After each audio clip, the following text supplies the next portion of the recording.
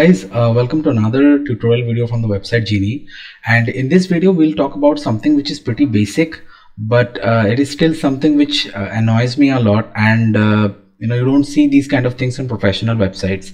So the thing that I'm talking about is uh, is links is, is when you click on links there is a border that comes up on outside of the link. So say for example I'm on the home page right now. And by the way guys if you want to create a website uh, you can check out some other videos on our channel where we show you how you can create uh, exciting features on your website like something like this. So this is a, a created featured product layout. So this is not what you get in with with the normal woocommerce default product layout. So if you want to create something like this or if you want to see how you can uh, learn more on woocommerce products like simple or bookable products or variations you can check out these videos that are on our channel. Having said that uh, let's get back to the tutorial that we're doing currently. So say for example we're on the home page right now and we want to click on accessories. So once we click on accessories there's this uh, you know border that comes up. So that is something which I do not uh, like. So if you similarly if you go to the account page so sometimes there is a border and sometimes there isn't so just like this one the about page. Again if you go to the home page there is this border.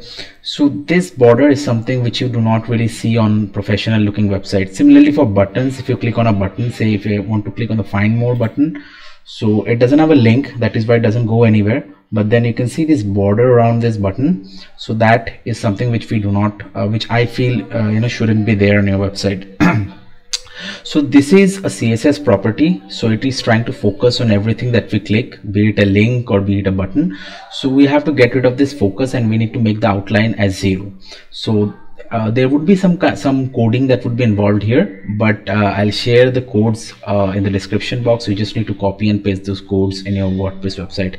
So uh, the place where you paste uh, these codes are in the customize section. So if you're using Elementor Pro you can just open up your edit with Elementor section and uh, at the bottom you will find add additional CSS so if you click on edit with Elementor so this is only for guys who are using Elementor Pro. If you're if you're using Elementor free version you can just skip this uh, tutorial to a bit ahead. And uh, I'll, I'll show you how you can do it if you do not have Elementor Pro. So say for example using Elementor free and you can click on any section. You just go to the advanced and then there is a thing called custom CSS so you can just add that here. But this is only for pro uh, users. So we'll get rid of uh, this Elementor uh, editing panel. So we'll go back to the normal homepage that we have. And you need to go to this customize section. So this is the WooCommerce this is the WordPress customizer. And the one that we use for editing with Elementor that is the Elementor customizer. But in order to add the CSS codes we'll use the WordPress customizer because Elementor won't allow us to do that. So once we are in the WordPress customizer if you scroll down you would find there's a section called additional CSS so this is where we need to add the additional css so I'll add the additional CSS. I'll explain to you what is actually going on so that you can understand rather than just copying and pasting. So uh, we'll first copy this second code that we have here. So we'll copy it and we'll paste it not just uh, beside this uh, third bracket. We'll place it below this bracket and so this is the code so the thing that is happening is once i'm once a link is active and we are focusing on a link so that is when we're clicking on a link the outline should be zero and there is no borders and the outline style is none. So this is what is basically happening. So i'm clicking on a link. So the css code is telling wordpress that i do not need any outlines on that and i do not need any borders. And obviously if there is no outline or no border the outline style is none so this is basically what is happening. So if you click on publish and uh, now if we get rid of the customizer and we go back to the home page now if you click on any link this borders won't be coming up. So this is a very easy way. You just need to copy and paste a few lines of code and that is also I'll give it in the description box. So that get rid uh, get rid of this uh, border. So this is very important and this is something which I feel that you know most most of the you know professional looking websites they do not have this kind of uh, you know borders. Okay uh, so now that we have got rid of this uh, you know link borders. So these are the links. So we have got rid of this link borders. We'll see how we can get rid of the button borders as well. So if you click on buttons like find more the borders won't come up. So we'll again go to the customize section. And this time we'll copy the first line of code.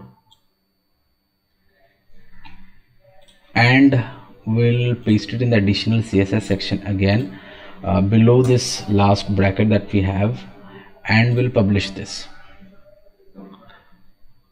so what that will do is it will get rid of the you know uh, outline on the buttons as well. So now if you click on the button it doesn't have a link but the borders won't be showing up. So that is how you get rid of you know outlines on links and buttons. So i feel that is very important and uh, it, it it isn't that much of an issue if you don't look at it that way.